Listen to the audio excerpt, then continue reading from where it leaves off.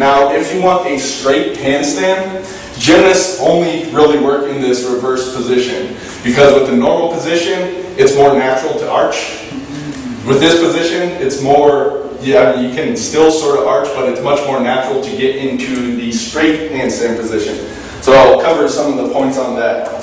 So I'll show you if I was to arch in this position, I might fall out of it, it'll be odd, but my stomach will then come and meet the wall, and my, there's no arch.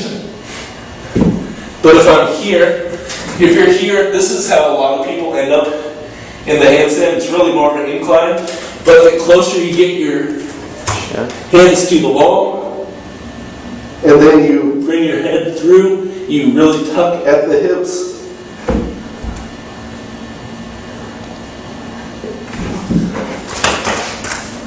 And you should be able to, uh, your, your nose will be touching, but you should be able to get here touching and you're not really touching with the stomach. So a big, another aha for me when I was doing this, I was trying to, in the position, tuck the tailbone here to get that position, but instead, think of bringing your ribs down. You can do both and you get this position. This is where it takes a lot more shoulder flexibility because to be in what's known as this hollow body position, which you need for the straight handstand, and at the same time, you need to have the hands overhead. So if you just get here and raise the hands overhead, notice that if you get to a certain point, you may disconnect. Go ahead and try this.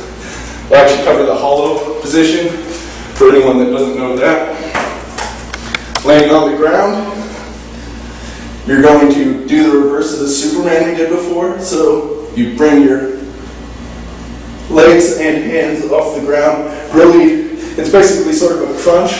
You're pushing your lower back into the ground, keeping that open shoulder position. This is necessary for all gymnastic type movements. You move, you fly through this different position. Glad dude up here. I want to show you one key point on if you have this position right or not. Go ahead and get there. Okay, I should not be able to get my hand under the lower back, which you're good. Yeah.